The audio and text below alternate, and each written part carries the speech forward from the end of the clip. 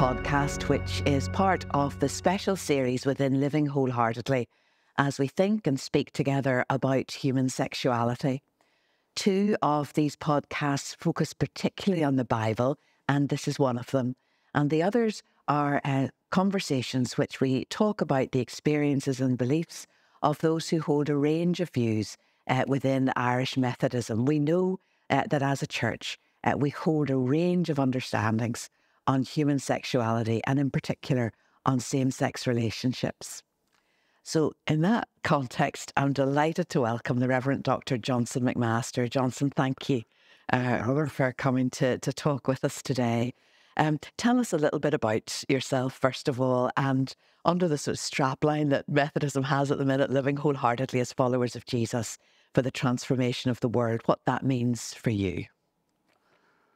Well, I'm I'm a native of the Ards Peninsula. I was born in the Ards Peninsula, County Down, grew up there in a fishing village, Portavogie.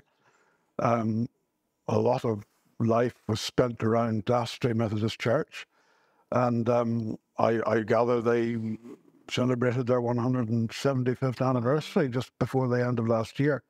Um, but that's where growing up was was, was done. I, I often describe um, life there as living with three Fs: uh, fun, fish, and and faith. Um, now, from there, I came here, um, spent some time in Edge Hill, obviously, and then uh, had my first appointment in, in West Cork, in an area that, that you know well. Um, in terms of the the um, the, the theme, the, the church theme, and living wholeheartedly, um, I could come at that, I suppose, from a number of angles, but for me, that's about life commitment. Mm-hmm. It's about the practice of values uh, and a particular focus on what is important and has always been important for me, I think, is, is a focus on, on the Sermon on the Mount in Matthew's Gospel. Um, and I think it's remarkable, and it's had a remarkable influence in, in, in a lot of, of history as well. Um, the Beatitudes in particular, which I, I, see as the essence of the essence of the values that are uh, part of what was being called the kingdom or the reign of God. And, and those values are lifestyle values, um, I believe. They are commitments. Um, we're talking about, um, about um, compassion, uh, nonviolence, justice, peace, uh, and then I think the sermon comes to an end with a rather remarkable ending, which for me is important um, in the practice of life and commitment. Um, Matthew's version rather rather terrifies us, I think, because be perfect even as your Father in heaven is perfect. We run a mile. Um, we prefer Luke, maybe be compassionate as your Father in heaven is compassionate. But behind Matthew, there is Aramaic. It was the language of Jesus. And the Aramaic translates as be all in, all inclusive as your Father in heaven is all inclusive.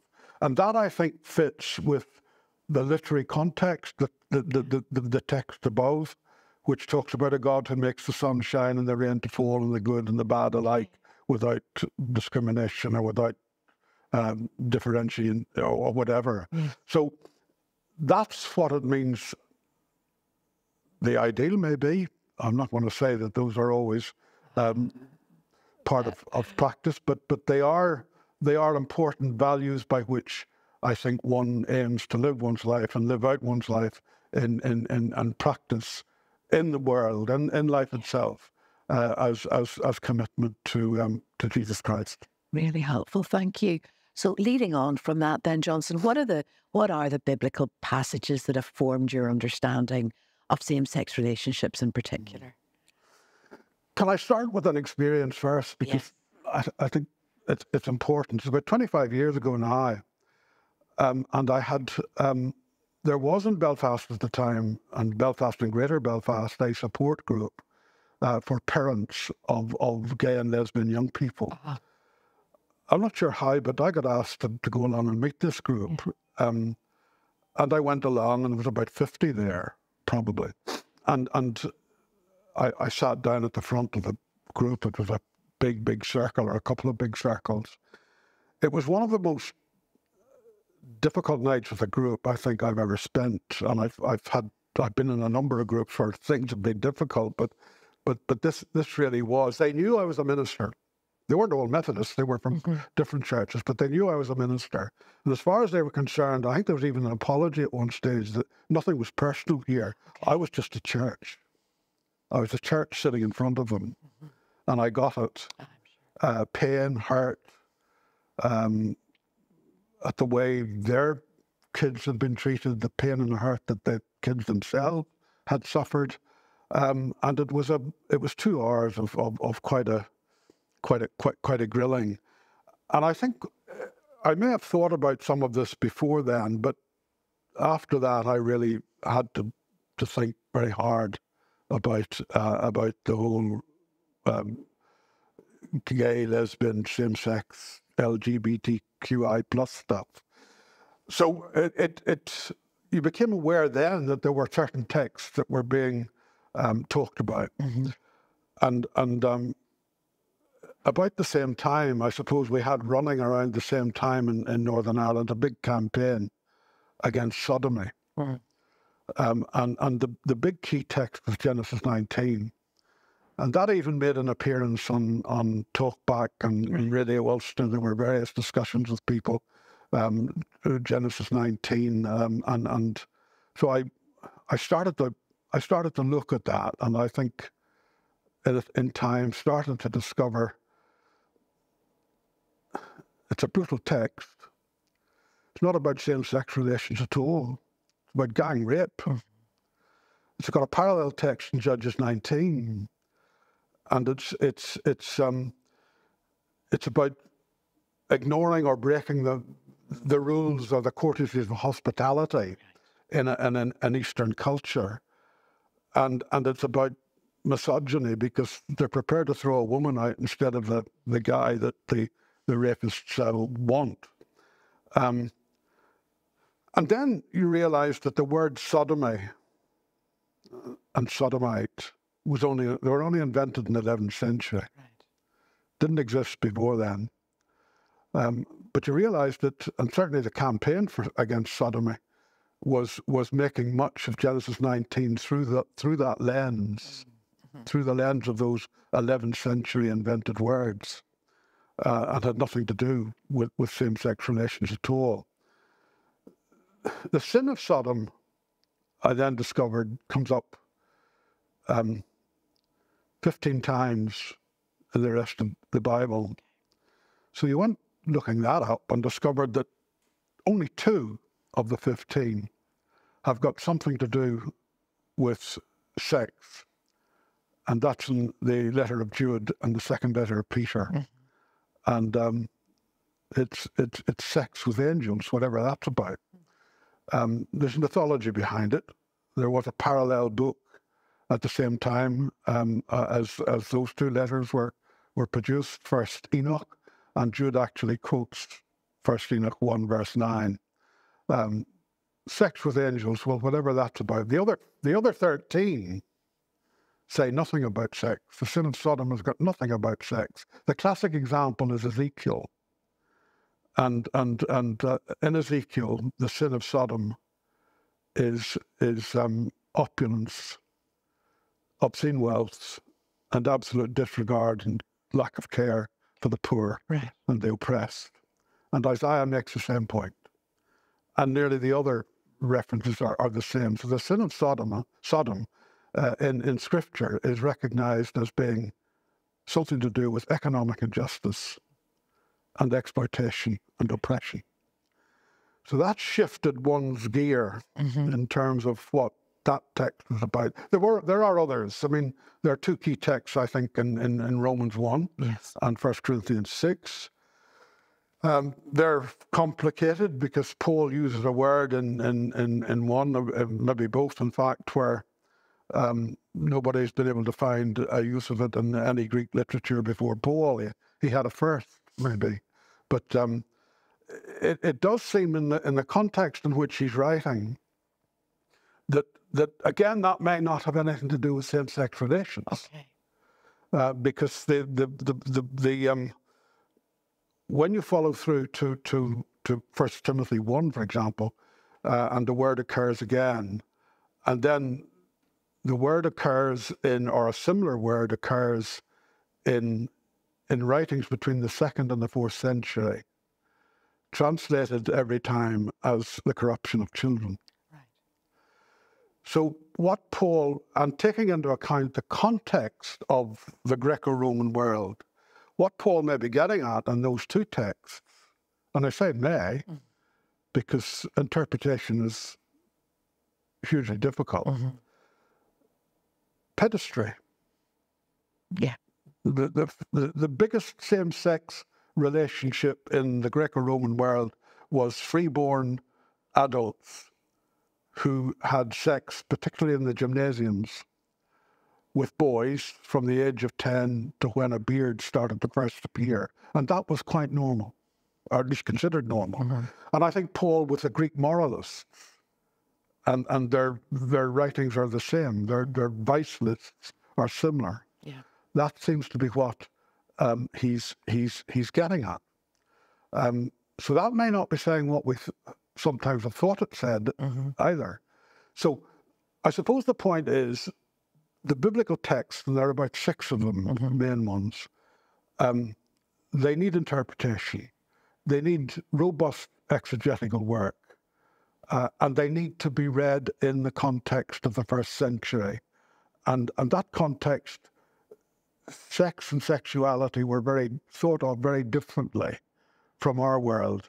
Paul is dealing with his world, not our 21st century, yeah. where some of our language wasn't even invented mm-hmm. uh, when, when Paul was around. So I, I've had to, I suppose that experience 25 years ago sent me off uh, doing some biblical reflection and study and a bit of digging. Mm-hmm. And um, I, I, I think there's, I think there is a lot of robust exegetical work to be done on those six passages. Really helpful, thank you. And starting with an experience there, Johnston, and then as that did, drove you into into scripture mm. as as Methodists, wherever the source of it, yeah. we sometimes talk about scripture, reason, tradition, experience. How do you balance those in your own mind? Because the, the question's often put to folks who have uh, an affirming view around same sex relationships that uh, experience is being valued uh, over scripture. How would you mm. counter that or how do you balance it? Well, I suppose, first of all, that, that quadrilateral um, was not the creation of Wesley himself. Uh, I think we, we've got Albert Outler in the 20th century to thank, thank for that one. Um, but I think Outler felt that that looked like a template on which John Wesley worked. Mm-hmm. And, and it's not surprising, maybe, that he did, because it, it, it's also quite Anglican. Mm. And, and um, how do you, for some people the priority is scripture. For others, they will say, well, there's somehow or other an interaction and, and a, a, a balancing between between the 4 mm-hmm. um, I think when you when you begin to think about it, at least for me, I find it very difficult to know how you can read scripture without tradition. Okay. And and and and reason and and experience. Mm-hmm. Um, if I want to work through them, uh, as a way of arriving at some kind of of, of truthfulness or practice for life. Um, I think experience is important. I mean, it's lived human experience. Yeah. And the Bible itself is a book which is reflecting on experiences. It's not a systematic uh, compendium of doctrine or scholastic approach or whatever. It, it's been turned into that sometimes. But I think it's a reflection. When we read stories of the Exodus, for example, they're written a couple of centuries later, but they're reflections on an experience, yeah. on a community's experience. And when we talk about experience, I think we've got to move beyond our, let's move in Enlightenment, 20, our European Enlightenment view of individualism. We're talking about community experience. We're talking about experience that people have together. Mm-hmm. And, and, uh, and experience is life experience. And most of us, if not all of us, are reading the Bible anyway out of life experience. Our very location and our experience of life is shaping how we, we read and understand, which is why people who are maybe middle class and are better off or privileged or whatever read the Bible very differently from people who are in abject poverty. Absolutely. Um, And I remember um, an experience of that that was enriching in Harare in 1988 at the World Council of Churches Assembly, Right. when when we had um, Bible study for three mornings because it was Africa. We were able to sit outside, little groups of eight Uh-huh. uh, in, in, in, in a group. And on my right hand side was, was a Methodist woman from Ghana. And on my left was, was a, a, a, a, a man from Armenia, an Orthodox. There were no two of us in that little group of eight from the same part of the world. But I'm putting it with some exaggeration now uh, to make the point, I suppose. It was almost as if we were reading different Bibles. Okay. Now, it wasn't that. It was because we were coming from different places, locations, from different experiences, and our experiences were shaping how we were approaching the text. So I think I think experience is important. We're we're reading from experience all the time. We're shaped by who we are and what we experience in the world. I'm white. I'm male. Mm-hmm. I'm Methodist. I'm middle class. I'm Irish. That's a fair bit of bias to begin with, but but it's it's it's it's it's where it's where one comes from. Mm-hmm. Now, tradition. Well, we have a tradition. There's been an interpretation of the Bible going on for two thousand years and more. Yeah. They go back to the Hebrew Bible. Um, tradition, though, is not stuck, and this is where I think we get we get a bit we make a mistake. Tradition is not something that's fixed. I think there's a better word, and it's traditioning. Okay. And traditioning is is is that process which is always going on, in which we ourselves are adding to and developing the tradition. But the tradition is there. Uh, Methodists, we have our own tradition. We have Wesleyan scripture, Yeah. and that's worth looking at. Um, and and and and we we have been shaped by that. I've been shaped by that. I grew up with that in Glastry. Um, didn't realize it all the time, but you were. Uh, so we have our tradition, our traditioning. So that becomes an important thing as well. And then reason. Um, and I think this is where we we we need to bring our intellect to, to, to, to the Bible. We need to bring our critical reasoning, mm-hmm. above all our critical thinking. We are, after all, asked to love God with all our minds. So, so, so here are the four, and I think they sit there together, and you can't do one without the other. Mm-hmm. I think there's a kind of an indivisible connection between them. And, and when we read scripture, I think we're always reading it anyway, out of experience, with traditioning, uh, with reason, and with the text itself. Thank you. Thank you.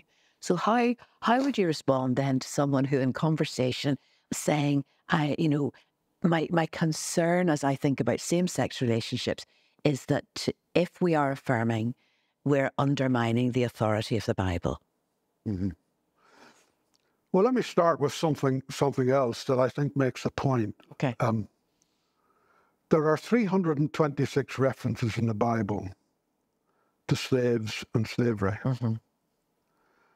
All but two of them, 324, condone slavery Right. and um, or accept or assume slavery to be part of the social, economic uh, culture and system. Um, I can't think of a Methodist, and those those texts were not only used by slave owners on the plantations who were in church, many of them on Sunday, Yeah. but they were used by the churches as well to justify slavery. The Bible backed up slavery. And there you had it. Chapter and verse was and were being, being quoted. 2024, I almost said 23, uh, we've moved on. 2024, I can't think of a Methodist from Kenmare to Inishowen who would say, we need to go back to slavery because the Bible says so. So, beginning even from John Wesley, who was vehemently opposed to slavery, Yeah. we Methodists, if you want to put it in terms of the question, we've been undermining the authority of the Bible for the whole of our existence, nearly 300 years. And it's not about the authority of the Bible, Okay. whatever that is. And every church will say yes to the authority of the Bible, but express it in very different ways. Yes. whether it's Catholic, Protestant, Orthodox, or Pentecostal. Um, it's about it's about our interpretations. It's always about our interpretations. And we're always interpreting, and we've always got to interpret. In the beginning was the word, and in the beginning was interpretation, if you like. And and and what we cannot say, there are Christians I know who who wish to say and do assert that uh, an inerrancy and an infallibility of the text. That's fine. Make the case for that. But the question is what we cannot say or what we cannot talk about, any of us, is the inerrancy and the infallibility of our interpretations Okay. of Scripture. So I think the authority of the Bible, however we express that, is one thing. The authority of our interpretations of Scripture is something else. Yes. Very different, and they can't be equated. Uh-huh. And I think when you look through um, 2,000 years of, of, of Christian history in the West, we have a long history of exclusions. Yes. And exclusions that were biblically based, we said and thought. We, we, we excluded the Jews for 2,000 years, said horrible things about them uh, slaves, women, the earth. Now, we've had to acknowledge that a lot of this we've got catastrophically even wrong. Um, it's not that the text has changed, but our interpretations of the text have changed in a lot of those situations. We no longer read the Bible, I think, against Jews. We no longer read the Bible against women. We no longer read the Bible against slaves. A large section of a white Protestant community in North America and here still reads the Bible now against Palestinians. Um, and I think we learn after a while that we got that wrong as well. But it, it's the interpretation that changes. And if we look at 2,000 years of the history of interpretation of Scripture, it keeps changing and many things. We, we, we, we reach points where we have moral struggles with issues and begin to realize that um, time makes ancient good uncouth. And, and, and um, some of our interpretations were not only wrong, but even immoral. So it's not the authority of the Bible. I think we all take the Bible seriously, wherever we define, describe authority. But I think we need to realize the authority of our interpretations of Scripture are never to be equated with the authority of the, t- the book itself. Very helpful. Thank you. Let's think pastorally then, Johnston. If um, how how would you respond if someone in a pastoral conversation was sharing with you that because of their understanding of of scripture and interpretation, um, ha- felt it was right to be celibate throughout their life, same sex attracted, and felt it was right to be celibate, and what was happening now if the church might change its view? How how would you respond pastorally? I, I think I'm, I want to comment that in, in, in, in, in, in broad terms and say, um, you want to be celibate, you want to be celibate. I'll give you chapter and verse from the Bible anyway. Okay. Um, that's, that's, that's fine. Anybody, w- celibacy is a choice. Right. W- Wherever anybody is on the spectrum, the celibacy is a choice. Um, but I think there are two, two riders to that. And one is that um, by opting for celibacy, that does not, it's a choice, but it does not put one into some kind of Premier League Yeah. of spirituality. Uh huh. It, it, it, there are people who, there are different models of relationships.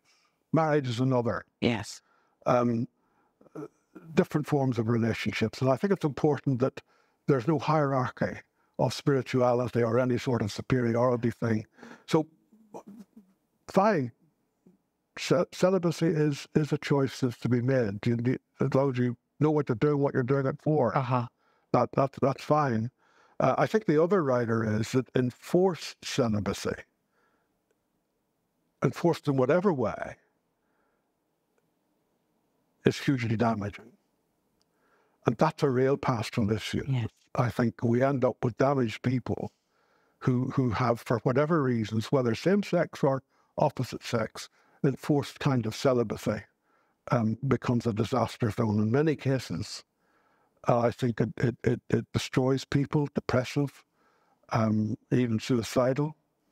Um, so I think we, we we need to be careful about enforced celibacy, but but celibacy needs to be a free choice for anybody who wishes to make it. Mm-hmm. And I can see just to push into that, um, the the folks who are on my mind are folks of deep faith who, formed by those understandings of faith, felt that the the the right Christian response, the right discipleship response at great cost is to say celibate. So would have loved to be in a relationship with someone of the the mm. same sex, but but out of a discipleship, a, a real disciple well, some people, Jesus. Yeah, I yeah. people will make some people will make that choice. Yeah. Others who are no less committed to Christ will not make yes. that choice. Yes. Um, and this is where we we've we've got a bit of wrestling to do. Yeah. Uh, and where we've got to. Um, I mean, one of the one of the things that's very often thrown off about same-sex marriage is that it undermines um, marriage and the family biblically. Yeah. Well, I think we need, like those other texts earlier, I think we really need to dig into that one a bit mm-hmm. more. Mm-hmm. Because that that may be an imposed interpretation rather than a piece of exegetical okay. work that comes out of the text. Yes. Um, interpreting the Bible's hard work. John Wesley said that. Mm-hmm. And he, he also said something, I think, that three things that I think were, were hugely significant. This is a general comment. Um, our understanding of the Bible, he said, was was was their opinions, their interpretation. Mm-hmm. And thirdly, like St. Paul, we're always seeing through a glass darkly. And he had he was very aware, I think, and we all need to be aware of the limitations on human human ability and human skills and the biases and even unconscious biases that we have and bring to the text. Now, I think we do need to look um, at, at, let me put, this may sound uh, strange and startling, or some people may find it strange and startling. I don't think there is a biblical view of marriage. Right. Okay. I think there are biblical views. Right. Of marriage. Okay. There are multiple plural models of marriage and family within the biblical text itself. Mm-hmm. Um, we all love the story of, of, of, of, Jacob and Esau. We've preached on it. We've preached it out maybe sometimes. And we, there's a little detail in that maybe we maybe don't notice. He comes to the brook Jabbok and he's wrestling all night with some stranger and mm-hmm. ends up limping away the next morning. Um, but before he spends the night there, he, uh, the, the, the text informs us that that his two wives crossed the ford yes. to the other side to some kind of safety. Mm-hmm. His two wives. Well, practically everybody in the Old Testament had had more than one. Yes. One, one, one wife. That, that's already a patriarchal way of putting it. Mm-hmm. Uh, and there's a there's a difficulty with that as well that we need to look at critically. Um, when we come to First Timothy and, and we get um, written late, probably into the first decade of the second century. We've we, we've we've we've regulations almost that the bishop or a presbyter uh, must be the husband of one wife. Why does it need to say that? Was there still the possibility in the Greco-Roman world that there could be more than one? Mm-hmm. Uh, so a biblical view of marriage is very shaky ground to talk about that, I think. But that doesn't mean we need to look at those texts mm-hmm. very, very carefully, and we need to um, we need to do a bit of solid contextual exegetical work on them before we can come to some kind of, I think, informed informed view. Mm-hmm. Now, I, I think I think we, if if the Methodist Church were to move towards uh, the, the, acceptance of same-sex marriage, mm-hmm. I think that's a long process. Um, I think um, I think civil law needs change to begin with because legally we're not we're not. Hmm.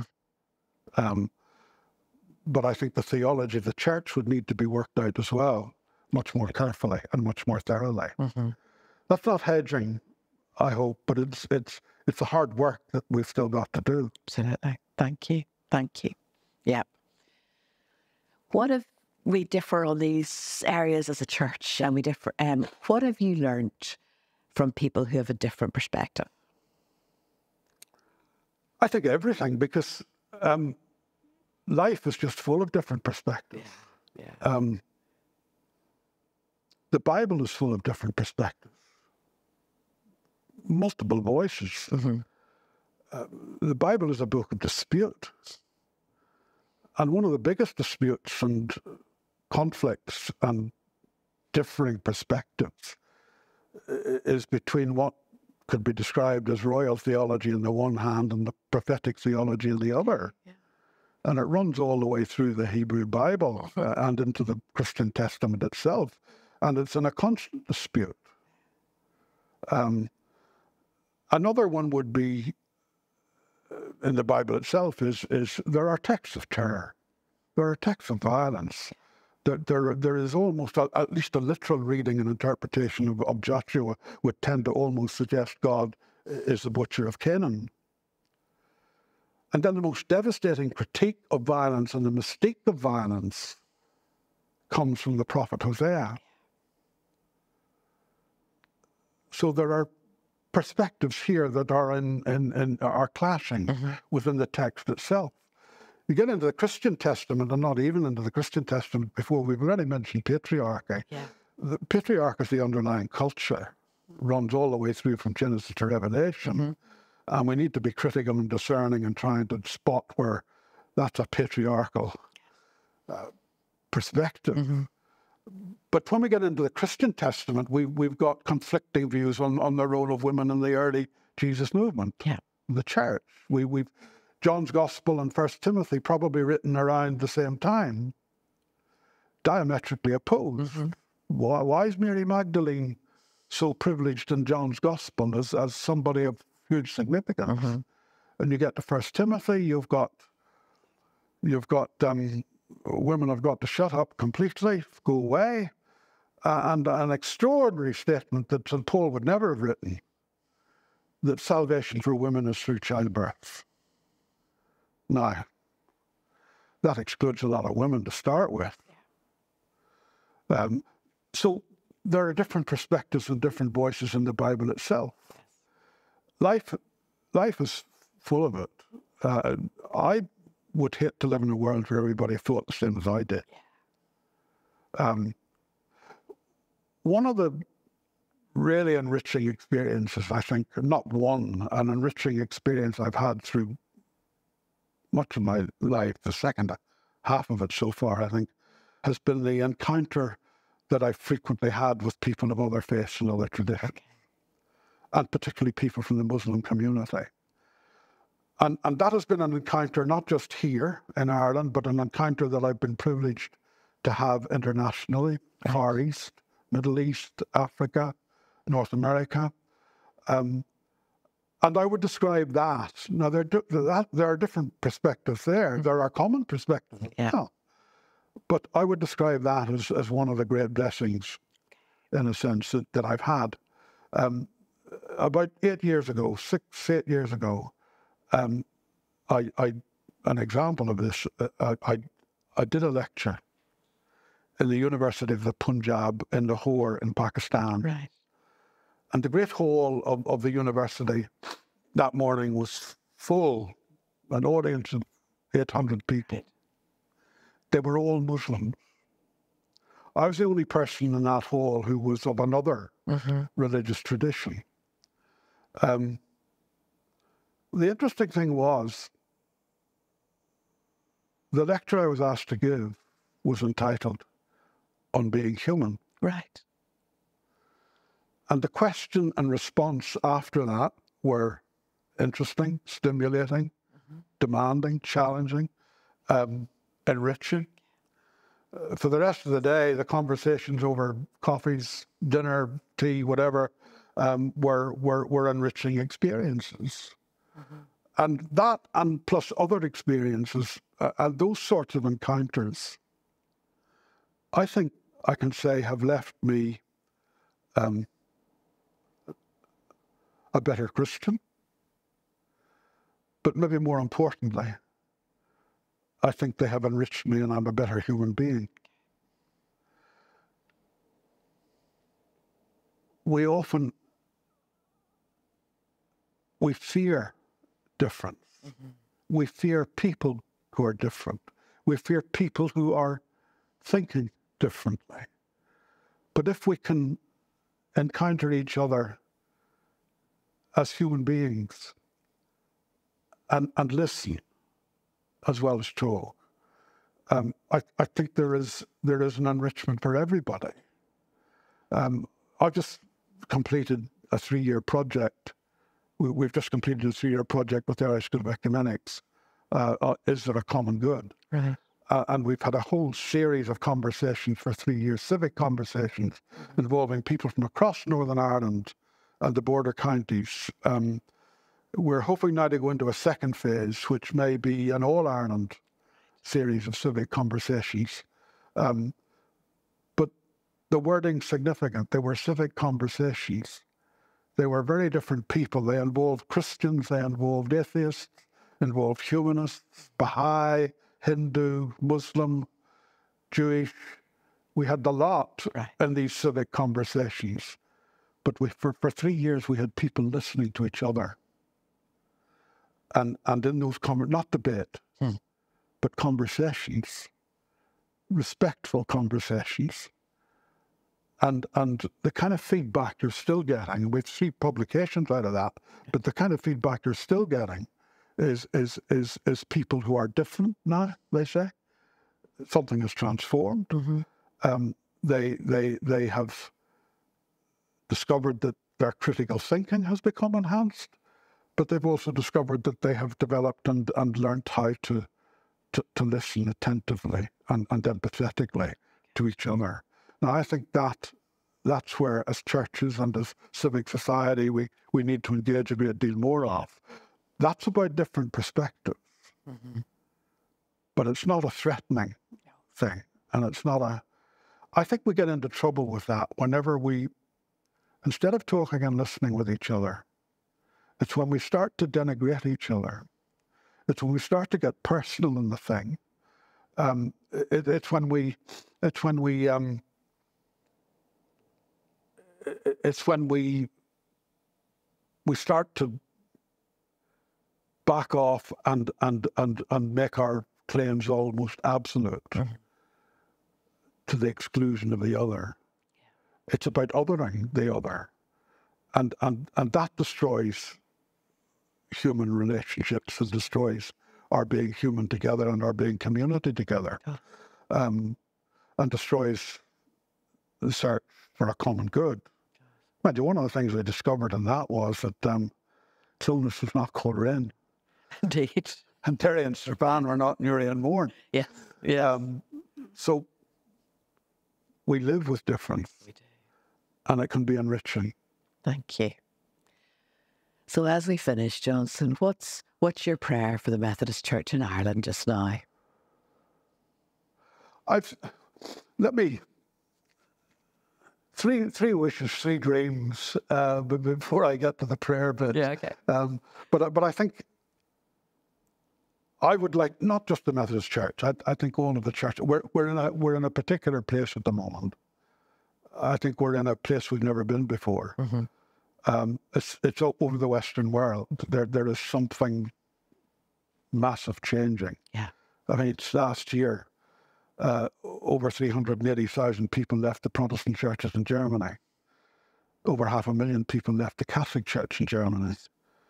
Um, we know this with some precision, at least they do in Germany, because to leave the church, you're required to deregister with the state and you pay 60 euro a time mm-hmm. to do it. So they can keep a track of the figures, they know what's going on. But that's, that's enormous. Church of Scotland have announced that between now and 2030, which is only six years or whatever away, they, they, they have plans to close 700 churches.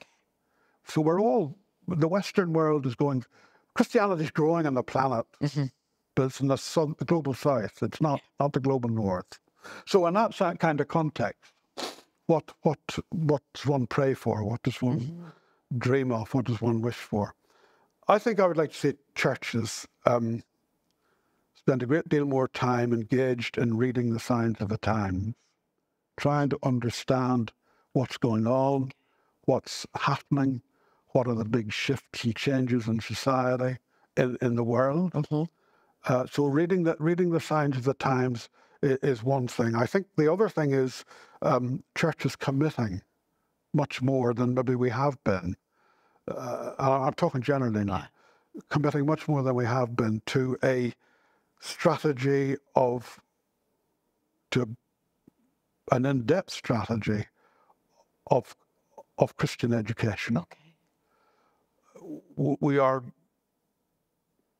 church is a moral community and a community of moral formation. Mm-hmm. We, we, we need to be helping people explore uh, ethics and values around the great big issues of our time, right. having read the signs of the times, if you like, mm-hmm. uh, as best we can. And I think the third thing is that um, I would like to see churches um, developing and doing a robust public theology that engages with the major critical big public questions and issues of our era. Now, what does one pray for?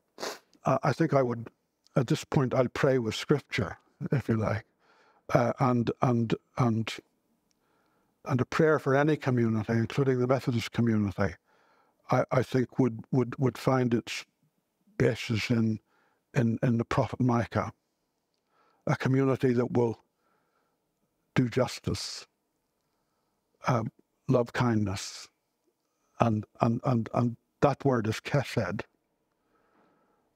the best translation into English of Chesed is, is I think, tenacious solidarity.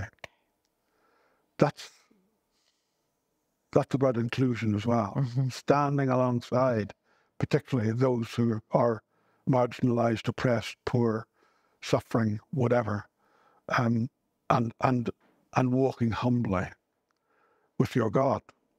And I think coming out of as we are, and, and I think this is where this is part of where we are at the moment, coming out of the last 500 years of of of of, of, of Christian church history in Europe, we need a big dose of humility. Um, I think we need to. I think humility means to lower our voices, um, to um, to get rid of our delusional certitudes and recover faith, which I think is faith in the deep mystery of the incomprehensible God, uh, but faith also that walks into the unknown future with the conviction that that, whatever, is God's future. So, a community doing justice, loving tenacious solidarity, walking humbly with God. For me, the outcome of that prayer, I think, would be the faith community as a movement um, engaged with not just the life of Ireland, but the life of the world and the planet. Thank you. Thank you. Johnston, thanks so much. I'm going to just pray as we finish and we'll pray into your prayer. Um, let's pray together.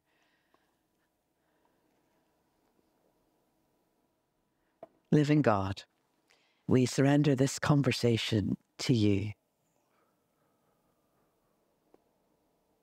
And we pray that your church, across the face of the earth, would be a people who do justice and love kindness and walk humbly with you. We pray in the name of Jesus.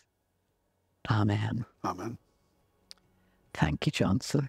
And thank you for uh, listening and for watching uh, this podcast. Uh, we hope that you have found uh, it helpful. Remember that there are others uh, in this series, so do subscribe uh, or find them on your usual channels. Thank you.